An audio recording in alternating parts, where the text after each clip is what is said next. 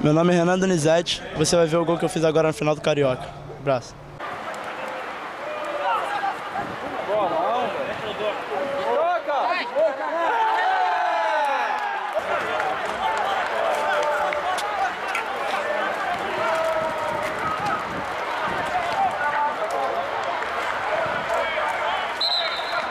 Ah, eu achei um jogo muito trancado no meio.